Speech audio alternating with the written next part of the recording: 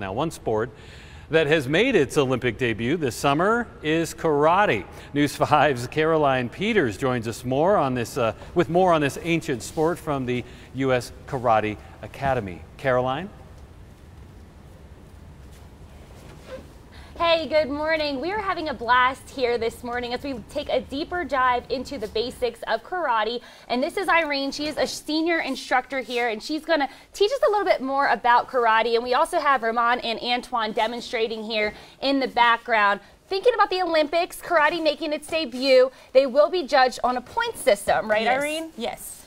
And let's just dig a little deeper into that point system and, and how they will be able to score points in the Olympics. Yes, and so, okay, so in karate, so for example, it is uh, yuko, which means one point, mm -hmm. wazari means two points, and ippon, three points you get. Okay. Um, you can score. So any punches, hand technique to the face or body, you will score yuko, ippon.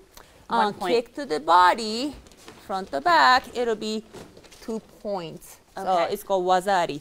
And ippon, to score three points, kick to the head or take down and follow through with a valid technique. Okay, so the most way to score points is a kick to the head or a takedown, which is three points. Yes. Whoever gets to eight points first in the Olympics, they will win. That's how they decide the winner.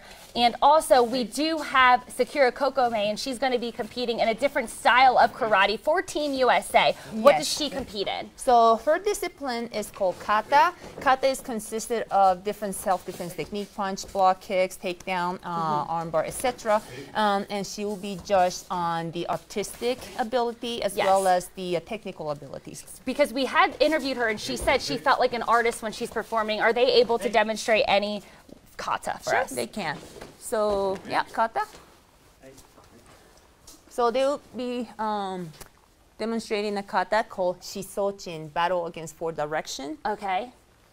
And this is what Team USA athlete Sakura Kokumai is going to be performing in, which is kata in the Olympics. And she is looking to bring home a gold medal if you've been following her journey. What do you think? Do you think she's going to be able to bring home the gold?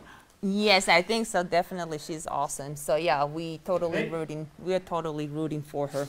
So this is one of the katas. Very cool. It's definitely an art, as you can see, and they take it away. It's almost like a dance. It's very, very impressive. Now, we can, we'll link it to our website and you guys can watch the Olympics all summer long, of course, but karate is actually going to start on August 4th and it'll run through the 7th.